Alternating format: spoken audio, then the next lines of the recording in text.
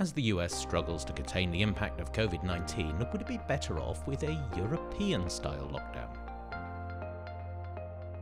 Hello, Anna, welcome. Hello, Tim. Thanks for having me. Now, Anna, I live in London, so I'm under lockdown. I haven't been further than a supermarket in weeks. So, in general, how do we evaluate the, the sort of benefits that a lockdown like this achieves? So, the benefits of a lockdown come from preventing people from meeting a large number of other people and passing on the virus. So, as it happens, fewer people will get sick and fewer people will die before the pandemic eventually ends due to vaccinations and herd immunity. So, that's really the benefit of a lockdown. And you make a, a, a cost benefit calculation on lockdowns in, in this paper. And in your calculation, what do you consider to be the costs of a lockdown? So, in my paper, I considered the costs of a lo- lockdown coming strictly from the reduction in economic activity. So, because a lockdown will cause some businesses to close, and some uh, workers in those businesses are not going to be able to work remotely, there will be um, a lower GDP as a result. So, this reduction in GDP due to fewer people working, and also perhaps in some estimations, one could put people homeschooling their children because the schools might be closed. So, this lower productivity will lead to a lower GDP. And I combine estimates from three different papers, and I estimate the cost of a lockdown incremental to the reduction of the economic activity that's already happening because people are socially distancing anyway. So I estimate this cost to be roughly 36 billion per week. Gosh, and what do you measure as the benefits of a lockdown? The benefits of a lockdown come from the reduction in the number of infections and the number of deaths until the time that the pandemic eventually comes to an end. So, really, the benefits come from three sources. With fewer people getting sick, uh, they're not missing work due to illness, so they were not missing this productivity of people who are sick or taking care of their relatives who are sick. In addition, we are not going to have as many deadweight medical costs um, on treating the ill that could have gone to elsewhere to treat people ill with other medical conditions. And finally, the biggest component is the value of life that we're losing uh, when people are dying. How do you measure the value of a human life in this calculation? Yeah, that's a good question. There are different ways to measure value of life, and no matter what's the way, they're going to be controversial. So when I worked in the government, it was very common to measure the value of life with the value of statistical life. So this is a measure that is estimated empirically from people's preferences. So all of us would prefer not to die, and we would be willing to pay money to stay alive. So people who work in riskier jobs, for example, are paid more than people who work in less risky jobs, such as construction workers are get, getting paid more than retail workers. In addition, we are typically willing to invest in protective equipment such as bike helmets, um, and we're willing to pay for the cost of medical interventions for ourselves and our children so that everybody can stay alive. So we could actually estimate the value of life for those uh, from those preferences. Uh, the other method that I used is the quality adjusted life years. So this method looks at how many years of life you have left and assigns a value between 0 and 1 to the quality of those years. If you're in perfect health, then the quality of your life is 1, the highest that it can be. If you die, then the quality of life is 0. And if you are in a less than perfect health, it's somewhere between 0 and 1. And um, then it just sums up across all the life years that you have remaining times the quality of those years. So with this method, somebody who is older, they have a lower life expectancy than somebody who is younger, and those years that they have remaining are in less than perfect health. So automatically you get a much lower value of life for somebody who is older than for somebody who is younger. So let me just uh, put some numbers on it. So with VSL, somebody who is middle aged, their life is valued at about 10 million, versus somebody who's over 65 years old, their value of life is 5.3 million. With QALYs, somebody who is middle aged, the value of life is 8 million if you put it on the same basis, and somebody who is over 65, their value of life is only 4 million.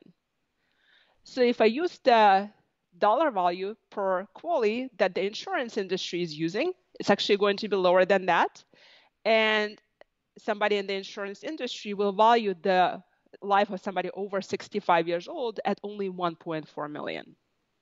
So with the COVID pandemic, obviously because it affects much more the older population, when I use QALYs, the value of the lives that we lose is going to be much lower than if I use VSL to value life. Whichever method you use to value a life, at what point in your model does it become right to lift a lockdown? So in my model, I estimate, so with the assumptions on the speed of vaccinations that I use in the paper, that assumes that 70% of the population will be vaccinated by June. I estimate that the lockdown should be kept in place between two and four weeks two weeks when I use the slower value of life that I calculate from QALYs, and four weeks when I calculate the value of life using VSL. And how confident can we be about the sorts of numbers that you're putting into the model, the dangers of COVID 19 and what's going to happen in the future? Those statistics, how well do we know them now? So, we actually know quite a lot about the strains that were prevailing up until now you know, of course, there's some uncertainty about the new strains, the UK strain and the South African strain. So maybe we would actually have to get new data and estimate um, new infection fatality ratios and uh, the reproduction number for this virus. But with the virus that was prevailing for a long time, there are actually quite a lot of estimates on the infection fatality ratio and on the reproduction number there are a number of papers that I have read in the medical literature, and a lot of those papers are the analysis of the already published papers, and they pretty much agree on what those um, inputs into the models should be but I also do some sensitivity analysis where I use the more conservative assumptions than those, what those papers estimated.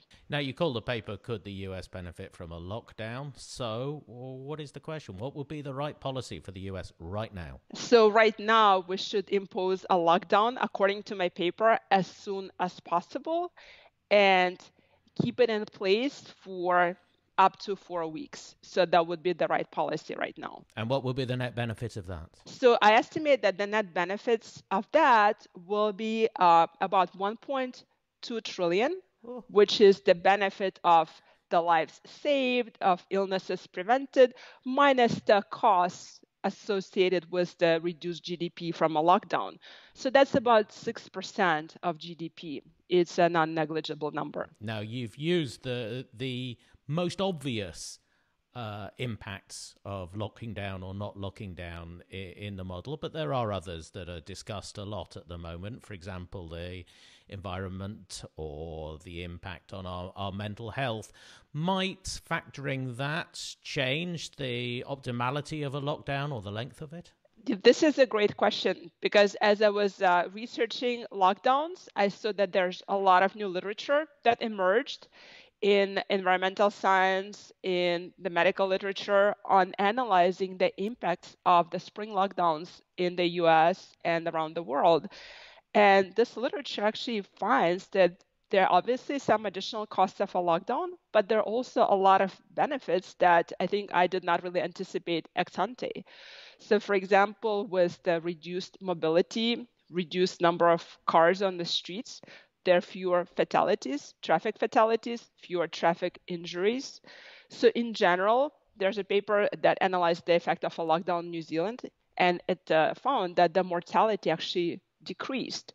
So a big part of it is that they think that there was less infections, fewer infections with seasonal flu, fewer deaths from seasonal flu, fewer on-the-job accidents, and other papers find that there's an improved air quality so there's fewer deaths and emergency room visits from asthma and different medical conditions related to the poor air, air quality.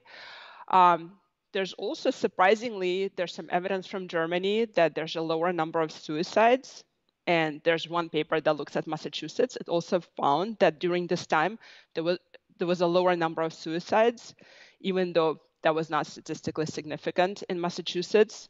And the speculation is that when people get to spend more time with their families, or when people don't have to drive to work, perhaps you know in some ways their mental condition improves. But that said, there's also evidence in the UK from the survey data saying that people feel more anxious and more depressed because of a lockdown. So the effect of a lockdown on mental health is ambiguous, I would say. And we've also heard about the impacts on domestic violence on one hand and crime on the other as well. Right. So this is also the fact uh, that crime has gone down there was a UN study that found that crime has gone down around the world during the lockdown because there were fewer opportunities to commit crime. But domestic violence instances may have increased. So the effect is ambiguous there. Now, we've used so far your work to talk about what should happen now, today, right next thing to do can we use your model and sort of wind back time and guess what might have been the impact of a lockdown if it had been imposed in the US uh, March, April last year, around the time that European countries were locking down? Right. So I think we could definitely use this model, but um, there are also a number of papers that look at different states. Some actually imposed stay at home orders and quite strict lockdowns, others didn't. So there are papers actually looking at that in the US and what happened in the spring. And those papers, um, say that those uh, strict uh, restrictions in some states they actually did prevent a large number of deaths so one of such papers is Gustavo Schwenkler and his co-authors. Aaron Yelowitz and his co-authors have another paper in Health Affairs that look precisely at that. Uh, you've been in the room when policies made. You live in the US. Uh, for those of us who don't, why is it that a national lockdown is never seriously discussed in the US ever? I think I would say it's because it is really a federalist system. So the federal government cannot really tell states what to do. So maybe it can give some guidance and suggestions, but it's really up to individual states to decide what they want to do. And so this is what happened in the spring. Some states imposed very strict restrictions, and others did really next to nothing. But with a new regime in charge and a change in policies towards dealing with coronavirus and perhaps a more facts driven agenda, you're measuring the benefit in the trillions. Is there a chance that things might change? There might be a national lockdown in response to COVID 19 or whatever the next pandemic is in the US? Yeah, this is really a good question. So I think before it is even considered seriously, we need to establish more of a safety net. So the CARES Act and CARES 2 Act is coming to an end soon. And uh, the Biden administration is trying to pass the new COVID relief bill that will establish the safety net for people who end up losing their jobs and businesses that suffer. So perhaps after that, such uh, a decision may be considered, but it will be some time from now. And uh, actually, I sent my paper to Biden's COVID task force. I don't know, maybe they are thinking about it, maybe not. I think politically it will be really difficult to do that just because the number of cases is declining. So in my model, I also have the number of cases declining, but it is still beneficial to do that because you will reduce the number of people who die before every before there's a herd immunity. But I think politically it will be very difficult to get public support behind this idea that we need a lockdown.